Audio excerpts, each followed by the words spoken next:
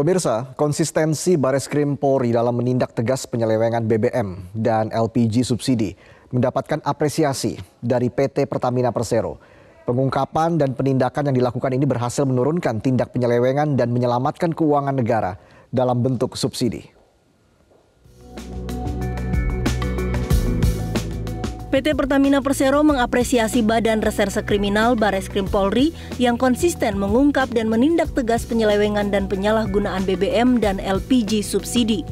Apresiasi disampaikan oleh Direktur Utama PT Pertamina Persero, Nike Widiawati, kepada Direktur Tindak Pidana Tertentu Dirtipiter Bareskrim Polri, Brigjen Pol Hersatwi Rusdiono di Graha Pertamina Jakarta pada Rabu 4 Oktober.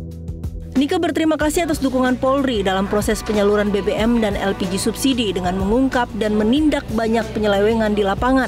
Pengungkapan dan penindakan ini berhasil menurunkan penyelewengan dan menyelamatkan keuangan negara.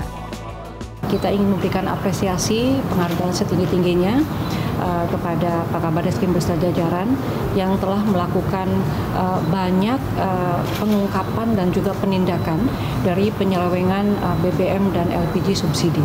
Yang tentu saja ini uh, berhasil menurunkan uh, penyelewengan itu dan menyelamatkan um, uh, apa keuangan negara dalam bentuk subsidi.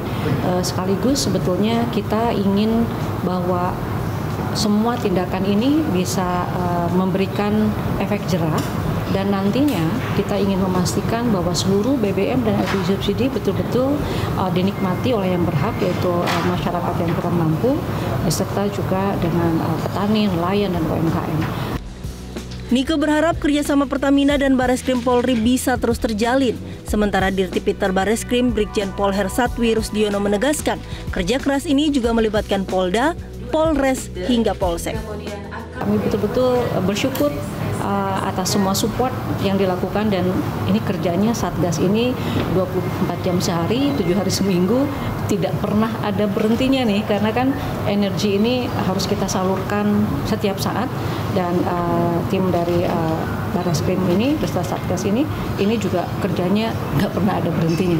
Jadi kembali lagi saya terima kasih Pak uh, Dir atas uh, semua uh, supportnya dan kami tetap berharap dan juga komit untuk uh, kita uh, selalu uh, melakukan kerjasama yang baik dalam uh, melakukan uh, pengungkapan dan juga nantinya penindakan uh, oleh uh, Barreskrim. Karena ini adalah kerja bareng antara Pertamina dengan Barreskrim Polri dan Polda Jajaran dalam rangka uh, mengamankan subsidi pemerintah terutama uh, dan BBM.